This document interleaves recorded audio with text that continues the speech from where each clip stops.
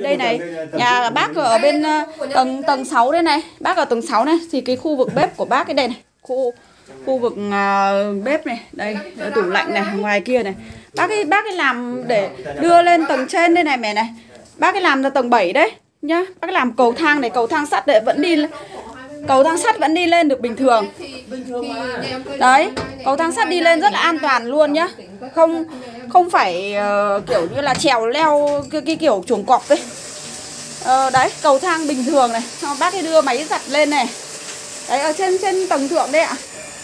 Đây này vệ sinh bác cũng đưa lên này. Đầy đủ hết. Ô bác đưa cả lên tầng vệ sinh lên này. Hay quá. Đấy. Đây được phòng này. Phòng này này. Đó. Hai phòng. Có mở cửa sổ này. Giờ thích thì đóng vào bác nhỉ Ừ, Đóng vào vẫn an toàn. Thì bên nhà con bên kia kìa. Đó Thế bên này nhà bác lại được thêm một phòng nữa đây này Đây này. Đây này. Đây là phòng phòng nữa là phòng thờ này Rất là hay luôn này Thời điểm này là canh tới ánh sáng. Vâng Bên Đây, anh ấy sửa làm vệ sinh luôn. Là nói điện nước đầy đủ hết. Đấy. Không thôi. Nhôm kính Tủ này Đó anh nhôm rồi là Không bảo anh anh làm Đó. cao đấy đầy đủ hết. em ừ, tư vấn cho nó nó làm nhà cho nó hợp Đây, đây hay là bác sang bên kia